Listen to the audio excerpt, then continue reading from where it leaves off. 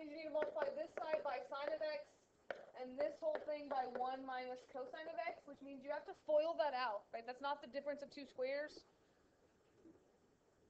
So again, just like I was talking about yesterday, part of this is doing the algebra correctly. Common denominator, sine of x times sine of x is sine squared x. When you FOIL this out, you get minus, sorry, not minus, you get plus 1. And then 1 times negative cosine is negative cosine. Negative cosine times 1 is negative cosine. So if there's two of those, I'm going to go ahead and say that's minus 2 cosine of x. So I'm just doing the foiling in my head. And then negative cosine times negative cosine is positive cosine squared. What we found in uh, second hour today is a lot of people didn't FOIL. Like a lot of people just said 1 minus cosine x times 1 minus cosine x was 1 minus cosine squared. That's not true, right? You have to FOIL that out. There's a middle term here. On the bottom, just like the one in our notes from yesterday, I'm not going to multiply that out because I know nothing's going to cancel, and I can't break up addition, but I can break up multiplication. So I'm going to leave it as multiplication. And again, just like the one we saw in our notes yesterday, if I have a sine squared plus the cosine squared on the top, can I put those together and make that equal 1? So I can say that equals 1, and I'll show my work on this, but so I could say that that becomes 1 plus 1 minus 2 cosine of x.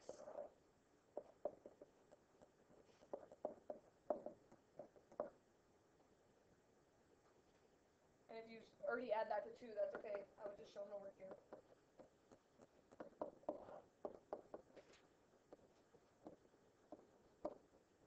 Right?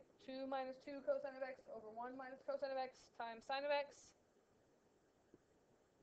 Then what could you do?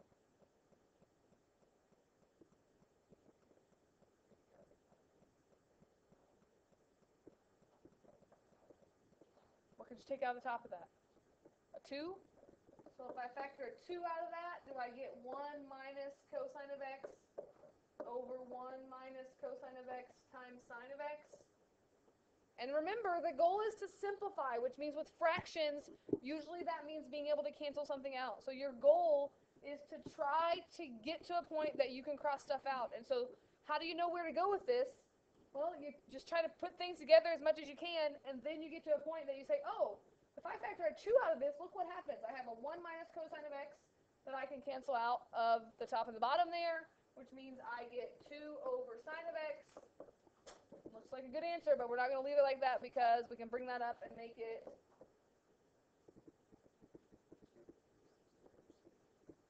sine on the bottom is the same as cosecant on top.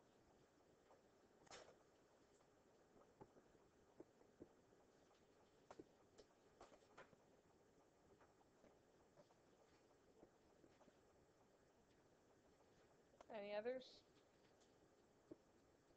Okay.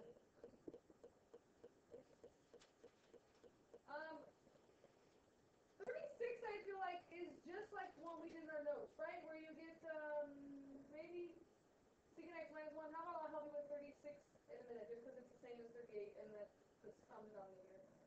48's not so bad either. 47 and 48 are just like the last example from the notes, which means both of those you just factor. You factor the top, it's the difference of two squares, and you cancel out the bottom, right?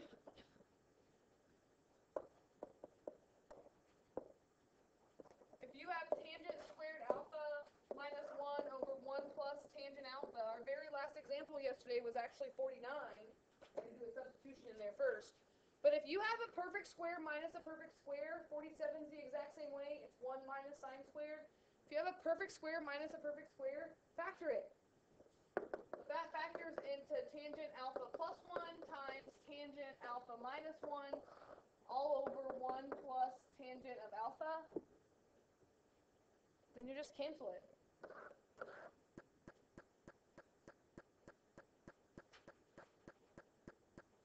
You've got to recognize perfect squares minus perfect squares that you can factor those every time, which is what 47 and 48 both were.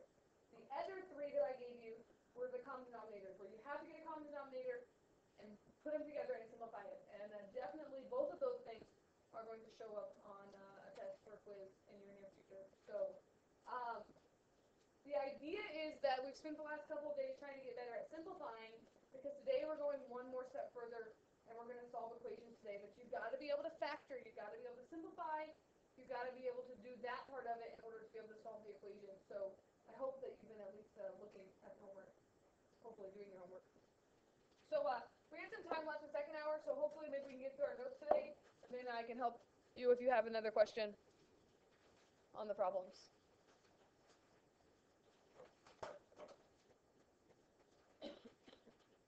Yesterday we simplified our trig expressions again. Today we're going to go that one step further and we're going to solve equations. That means we're going to need our unit circle stuff on top of all this algebra stuff.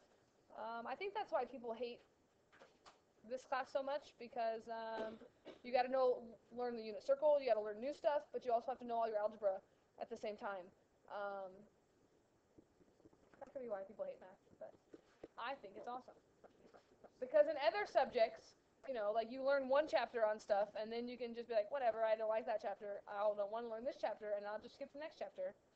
But math, it all is related, and you have to go back and recall all that information. But if you learn one chapter on Germany and the next chapter on Japan, you just can forget all about Germany, right? Can't forget all about math. It all stuck together. Maybe why I like it, but maybe why you hate it. So tomorrow we're having a worksheet which means we're going to kind of review what we've been doing this week, get an extra day to work on it, but uh, we could also have something else tomorrow, right?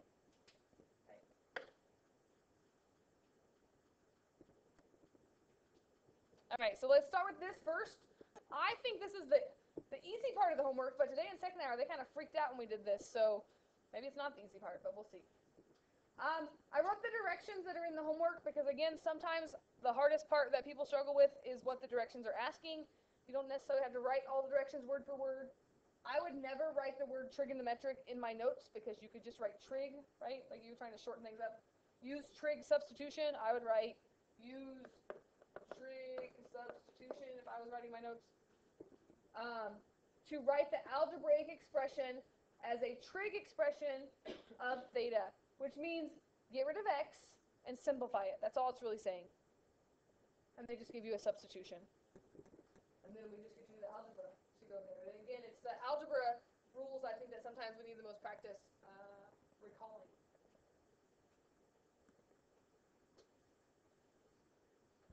Again, my weird font of theta there. Uh, step one, if they give me this and they tell me that x equals 2 cosine theta, I can just plug 2 cosine theta in for x.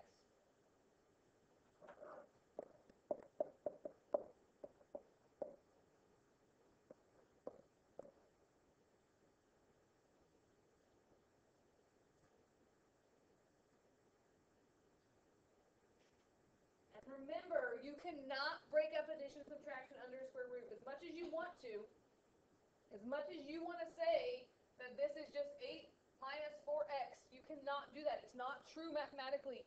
You can only break up multiplication or division in a square root. You cannot break up addition, subtraction, which means it's kind of the same thing that we've been doing with the other stuff of can you simplify this enough so that we can break it up and simplify it. Um, if I distribute this you agree that it's not just cosine squared, it's 2 squared cosine squared? So this becomes 64 minus 16 times 4 cosine squared. You're going to distribute that square there. And if you can do that all in one step here, you don't have to show this in between step, because really 16 times 4 is just 64.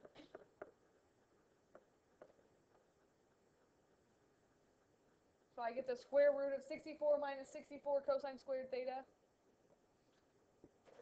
And again, the big idea here is you cannot break up addition and subtraction. So could we do something here to turn this into multiplication instead of addition, just addition and subtraction? Yes. Could I factor out 64?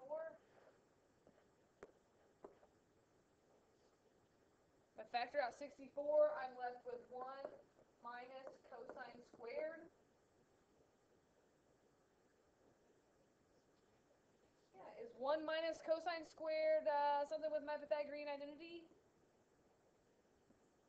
It's just sine squared, which I'm going to go up here just so I'm not writing lower and lower. I think that's the same as saying 64 64 times sine squared theta.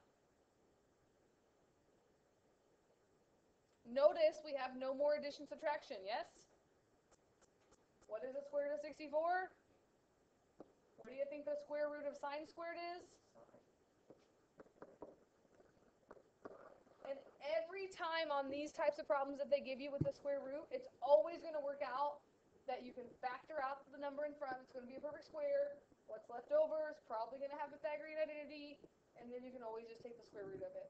Um, it's just some algebra practice. Yes. Minus.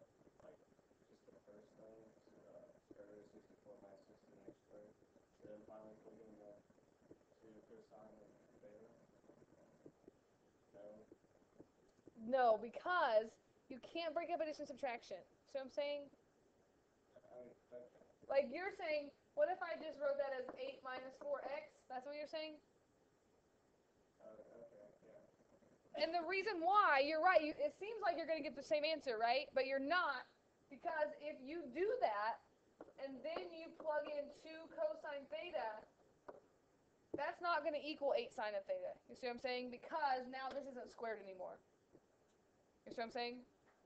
Because now you would get 8 minus 8 cosine theta. It's not squared, which means you can't do that. And the reason that you can't do it is not just because it doesn't work here, it's because it just doesn't work.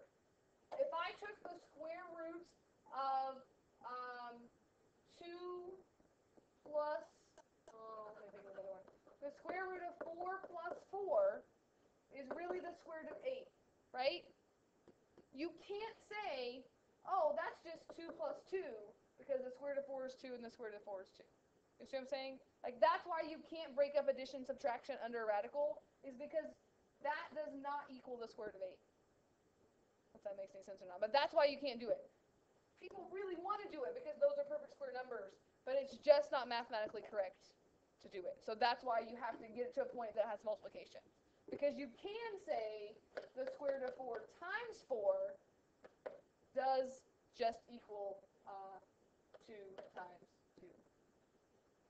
Okay, so that's why we have to get to multiplication. Okay?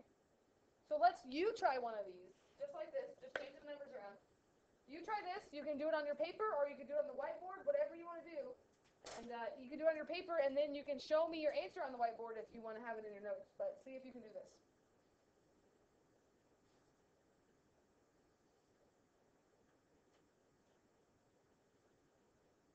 While you're working on this, don't forget that Friday is Pi Day, uh, and you can bring in your own food for extra credit, and you can uh, dress up, like wear a shirt or something.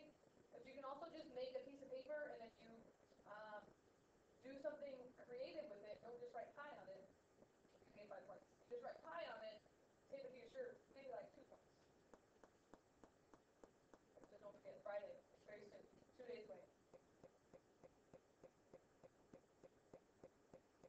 And by this hour, I'll, s- this will be the sixth time that day that I'll be singing some songs, so. I can really be by that point. It's only get better as the day goes on, right? First hour will be the worst, because you don't really practice. Just wait the first hour.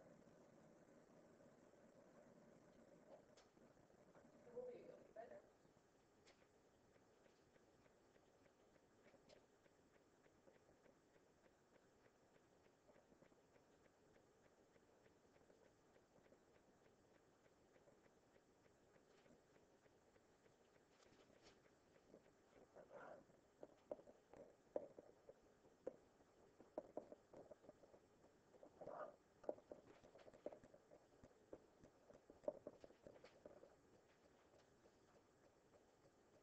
should always have that perfect square that you can factor out front. If you don't, then you know you've done something wrong because they always put out like this.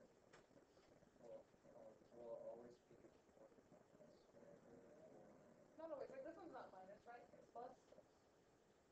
But it should always turn out to be something with a Pythagorean identity that you can replace that with one trig function.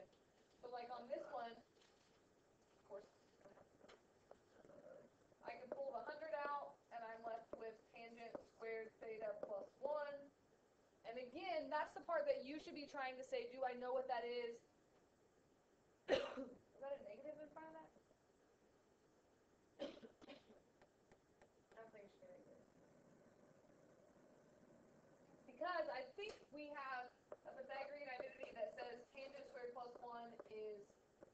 squared. So then the square root of that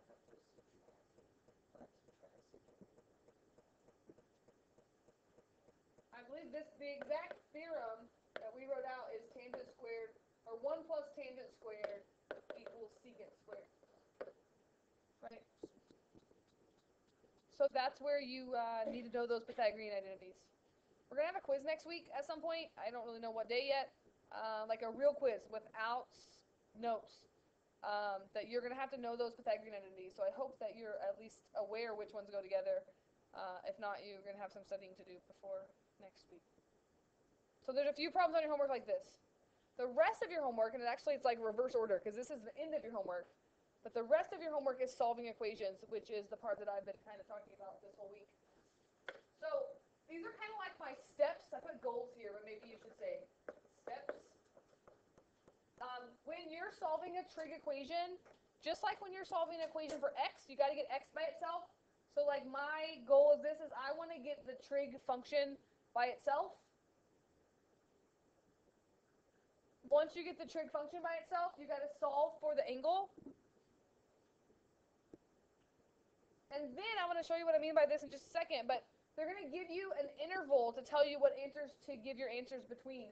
And this means if I'm actually solving for an angle, then I've got to go back and use my unit circle, or I've got to use my reference triangles, and I feel like most of us uh, are using the unit circle at this point.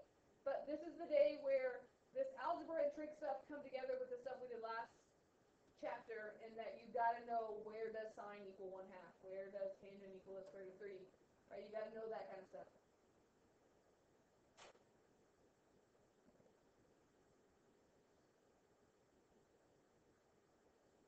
I'll take a second to drop that down. Have you got it down? And then we'll do a few examples.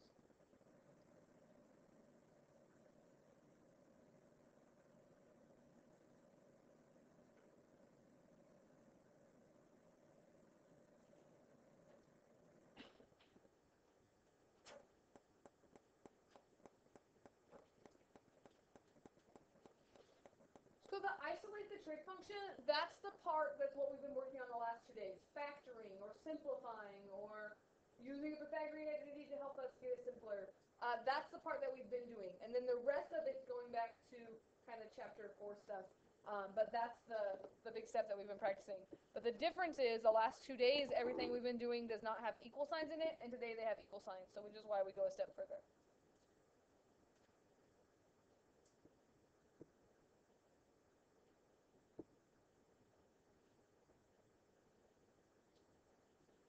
for, for moving pencils. It's like it's very big font. Seems like I'm yelling at you with my fonts today, but it's very bold. There are really two different directions that you're going to get with these. One of them is when it says find the solutions over the given interval. And then they're going to give you an equation and then they're going to give you an interval, and this is almost always the interval that they give you because it's the whole unit circle. They're saying starting at 0, including 0, go all the way around to 2 pi, but don't include 2 pi because 0 and 2 pi are the same thing. Uh, so that's almost always the interval. It could be different, which basically just means we're going around the entire circle. But before we can worry about this part, we got to be able to solve this. And just like I was saying yesterday, my go-to thing on this is if you don't know how to do this, if you look at this and you have no clue what the first step is, change it to x's or change it to u's if you want to do u substitution. But anytime you see a trig function, change it to an x or change it to a y or change it to a u, and then ask yourself, do I know how to do that problem?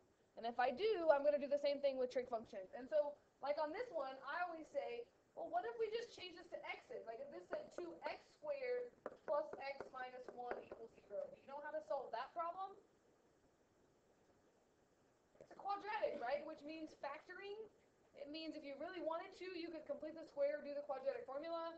Uh, these should always be factorable for us. So by all means, you can just solve it like this. Or if you want to do the u substitution where we could say, instead of saying x here, we could say u equals cosine of x. We could say 2u squared plus u minus 1. But this works on other ones that don't have u substitution. Uh, if you just change them to x's, or even if there's two trig functions, change them to x's and y's, and then think about what you would do. Um, usually it helps you get over the, the scary part of the trig. The kind of stinky part about this one is that there's the number in front, right? Which means if you're going to factor this, you have to do the whole multiply the first and the last together. Where you multiply those together and you say what multiplies to give me 2, that adds to give me a positive 1 in the middle. Is that going to be positive 2u minus 1u? Yes. Could you do that without changing it to? Oh yeah, totally leaving it as cosine. Yes, I tend to do it like that, but it seems like you guys love you, so uh, a couple months use substitution. Uh, but yes, when I do this, I always just write it as like uh, two cosine x minus one cosine x, and then I don't have to plug back in. But yeah, u substitution is totally just a method that helps you solve it, but you don't have to use u if you don't want to. That's all you use. bring down the outside. And then remember, we're changing this to factor by grouping. Um, so I could factor out a 2u, and I would get u plus 1, which means over here I need to factor out a negative 1 to get u plus 1. Again, why do we teach factoring in Algebra 1? Well, because it kind of trickles into all this math sometimes. And so then I can change this. I'm going to change it back to cosine as I do this. So instead of saying u plus 1, I'm going to change that to cosine of x plus 1. And 2u minus 1 is going to go together, or 2 cosine of x minus 1 equals 0. We did this, I think it was day 1, uh, so Monday of this week. We factored stuff like this using u substitution and our trig functions. The new part is it's an equal sign. So just like when you factored quadratics, what do you do now? Now that it equals zero, what are you going to do?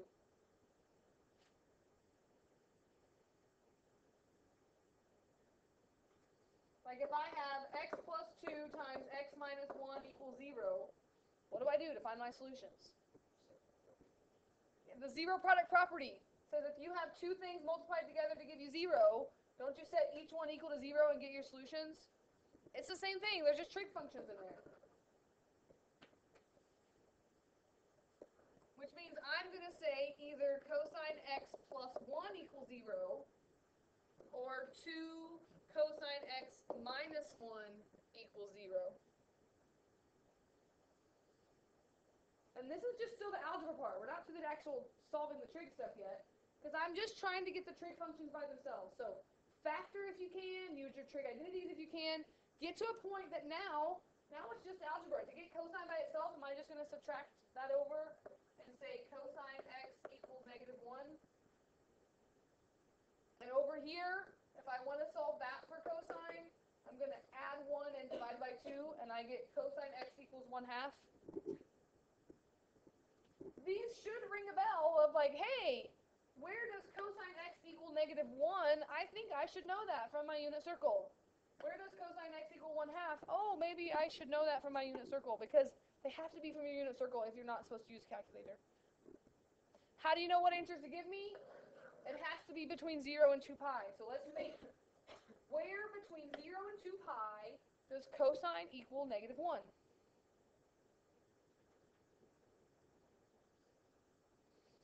Cosine is x, right? So where does x equal negative 1? I think pi. Right? Over here at pi, it's the x coordinate. Cosine is 0 at pi halves and 3 pi halves.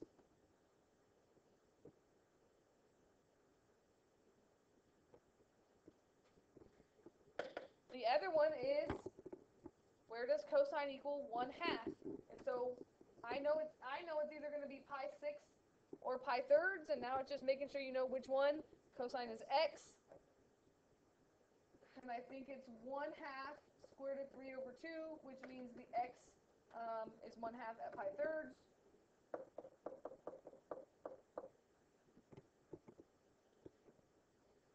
Is that the only place between zero and two pi that cosine equals one half?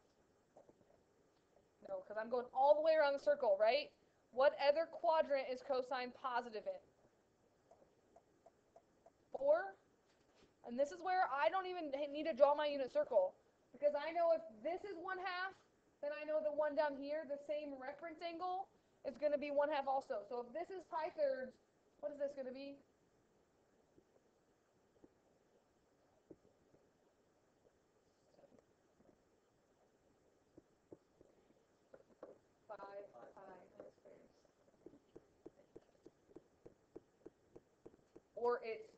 2 pi minus pi thirds, because I'm taking away the same reference angle.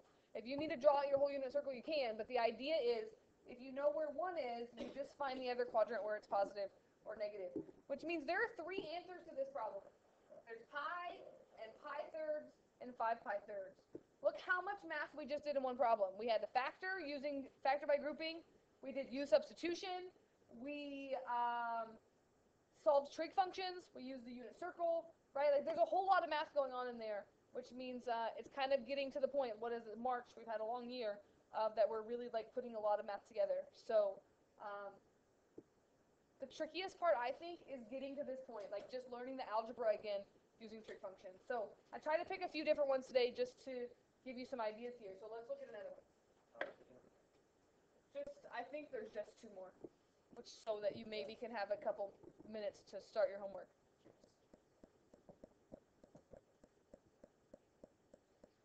Again, these are the same directions. That's why it has a little interval after it, 0 to 2 pi.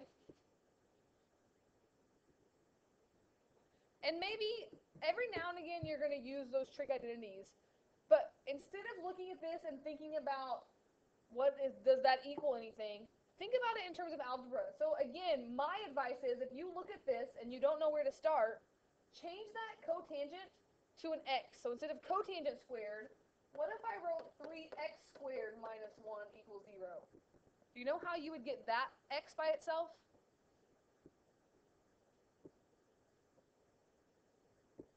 Can't really factor on this one because it's not perfect squares, it's not a trinomial. What would you want to do on this if you're trying to get x by itself? At some point we'd have to do a square root because we have x squared, but you can't do a square root unless you get the x by itself. Like you have to get x squared isolated. So what could you do to get x squared by itself? Add 1, divide by 3. Yes? Same idea over here. If you only have one trig function in this problem, whether it's squared or to the fourth power or anything, all you gotta do is move the other stuff over and then take that root. Uh, or if it's only cotangent, all you have to do is move the stuff over. Again, how do you know if you're going the right direction? Should get something that you don't need a calculator to do on, unless the directions say use a calculator. So if I was doing this, I'm going to add 1 and divide by 3. And then, just like over here, someone said we should take the square root of this. I just want cotangent, not cotangent squared. So I'm going to do the algebra, and I'm going to take the square root of both sides of that equation. And first of all, what do we have to remember to do when we take the square root of both sides of an equation? Plus or minus. And I'm going to write this, the square root of 1 is 1 over the square root of 3. If this were my answer, I would rationalize that. I would say that's the same as saying plus or minus square root of 3 over 3. But I'm trying to use my unit circle, so I'm going to leave it like this because it helps me when I look at my unit circle to think about which one it is. Um, so that's not my answer, it's just kind of in between step. Once you get the trig function by itself, completely solved for, you should now be doing your unit circle. Um, before we start looking at our unit circle, if I want where it's plus and minus, and I'm going all the way around the unit circle, how many answers do you think I'm going to get? If I want to know where it's positive 1 over the square root of 3 and where it's negative 1 over the square root of 3. How many quadrants is cotangent positive in? How many quadrants is cotangent negative in? Which means I should have four answers to this problem because I want where it's positive and where it's negative, which means I need both positives and both negatives. Cotangent is, uh, what's the ratio for cotangent? Adjacent over opposite, or in terms of x's and y's? x over y. Know I've said this before, but in second hour today, people were talking about how much they hate cotangent because there's all these fractions. all you have to do is look at the x coordinate over the y coordinate and you can forget about the fractions, right? So if you, hopefully you know it's either pi thirds or pi sixths. Because it's 1 half square root of 3 over 2, and down here is square root of 3 over 2 1 half. When you put a fraction over a fraction and you flip it up, those 2's are always going to cancel. So when I do cotangent, Philip has taught me this this year, and honestly, I've always drawn triangles for tangent and cotangent because I hated to deal with the fractions. But Philip pointed out that the 2's are always going to cancel, and it's changed my life. It's made me like the unit circle a lot more. Because now I know if I just look at the, the numerator of the x coordinate over the numerator of the y coordinate, that will be cotangent. So looking at this, if I take this x over this y, does that have a cotangent of 1 over the square root of 3? Does pi 6 have a cotangent of 1 over the square root of 3? No, because it's square root of 3 over 1. So you don't actually have to compute anything if you just know the ratio, which means, just like the last problem, an answer here is pi thirds. And now if you want to make the entire unit circle and figure out where else is that true, you can. But the idea is you should know your reference angles at this point. If this is true, and we know we want the plus and the minus, sign doesn't matter. If pi thirds is true, do you agree all the other thirds are also going to be true? Because this one and this one are positive, this one and this one are negative. That's where we should be with our unit circle. If you have no clue what I'm talking about at this point, it's kind of worrisome. Because we should be able to say, we know all of these have the same coordinates, all that changes are the signs. And since I want both positive and negative, I can say that 2 pi thirds is also an answer. And what would this be? 4 pi thirds. And this would be 5 pi thirds. Because two of those are positive and two of those are negative. That's only true when you do plus or minus. If you take the square root of your equation, probably you should have four answers. Okay? Now let's look at that one. I think this is my last one, and then we'll talk about the homework. Notice I changed the directions on you, and we'll talk about this. We'll do the normally stuff, and then we'll go back into this. Is that for, uh, is the first number? It's just square root of 3. The cosecant's not under the square root. Notice the directions say find all solutions. That means they're not saying that you're just going from 0 to 2 pi. They're saying they want every solution. Um, so we'll deal with that end, but keep that in mind right now. Before you deal with that part, though, we got to solve this. And again, think about what if this cosecant wasn't here? What if it just said the square root of 3x minus 2? How would you get x by itself? Add 2. Di- divide square root of 3, right? We're just trying to isolate the trig function. So if I add 2 over, Get the square root of 3 cosecant x equals 2, or cosecant x equals 2 over the square root of 3. I don't like cosecant and secant so well with my unit circle. I mean, I could do them, but I do much better with x's and y's because I can use my unit circle. Which means if cosecant x equals 2 over the square root of 3, what else do I know? Sine of x is the square root of 3 over 2. So you don't have to do that, but to me, my, my brain just works better that way.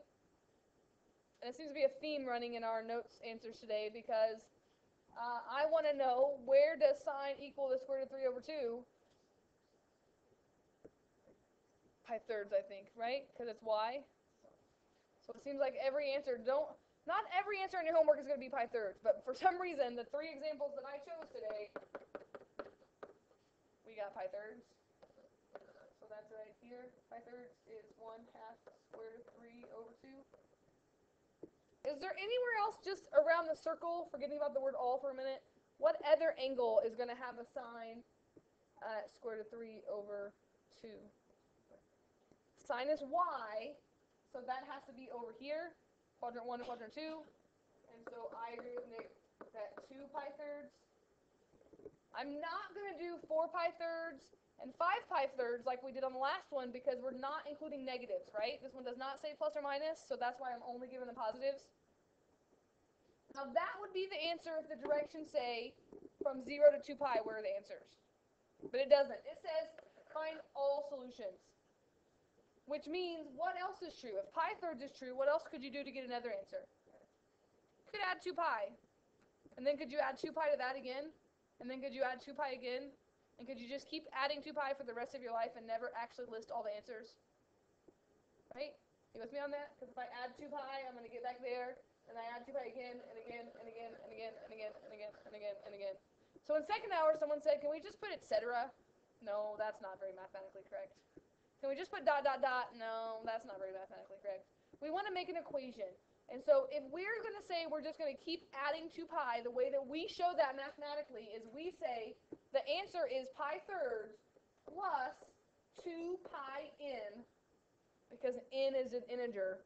So any multiple of 2 pi plus pi thirds would give me a, a correct solution. So the big idea for this is when you see the word all, don't just give me pi thirds, just plus 2 pi n.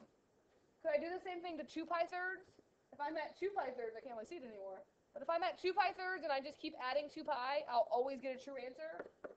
So when you see the word all in there, you just add 2 pi n to all your answers. Huh? That's exciting stuff today, huh? Some good thinking stuff today. Uh, we have some. We have like 10 minutes, so I want you to. Uh, do you know? Yeah, you don't have that one. I want you to write this down, and then I want you to write down 51 so that I can talk about common mistakes that you, uh, not you, but people tend to make.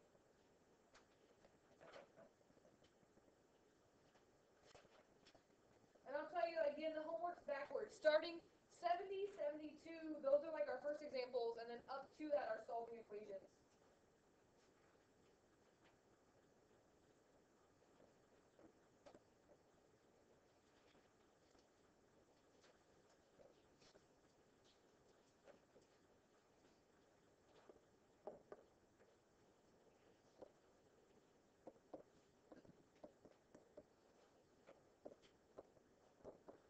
Also, don't forget that Friday is when your test corrections and retest, last day to retest. Also, Friday's Pi Day, so it's going to be a little out of control down here all day. So if you uh, retake a test on Friday, you're probably going to get some ISS to take it so that you won't have to be in the middle of craziness. So, not that you can't retake it on Friday, I'm just telling you ahead. Because all the math rooms are going to be out of control. So. No, they still do Pi Day. They just he just doesn't sing and dance. So. I feel like that should be a requirement. Yeah, some, some, I told him one year I wasn't gonna let him send his kids over, but he still is. Told he had to sing through but yeah, usually he'll be like, if you wanna go watch the ridiculous people go on. I think this is fifty-one. Here's what I wanna, uh, here are my pieces of advice. Step one is get it equal to zero if it's not equal to zero.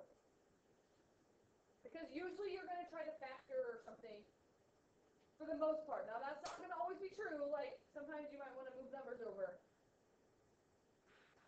Number two, do not divide by a trig function.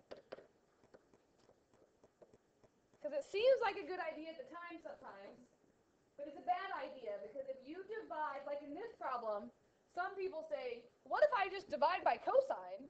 And then cosine's gone, and then I can just solve what's left, and hooray, that's so much better.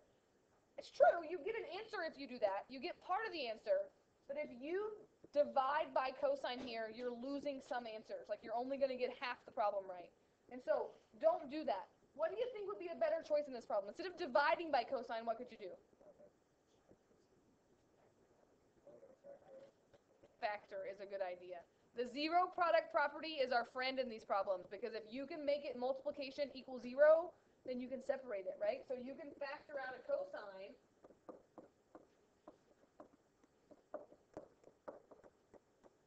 Then once you have it factored, just like the first example that we did, only we un, like we did FOIL, can I now just set cosine equal to zero, set this equal to zero, and solve those two separate problems? So factoring is a good idea. Make them equal to zero. If you feel like you want to divide, probably that means you need to subtract and, and factor it out. Um, we'll go through some of these tomorrow. Definitely check your odd answers in the back. Make sure you pay attention that up through 54, the directions say uh, 0 to 2 pi without a calculator. Um, and then they say find all the solutions. And then 63 and 66, they say use a calculator, which means it's not from your unit circle. And if we need to go through one of those tomorrow, we probably will. Um, but those are the only two you should be using a calculator on. The rest of these you should be doing like from your unit circle, from your brain. Okay? So work on this. You still have about five or six minutes so you can get this one solved, maybe get the next one started.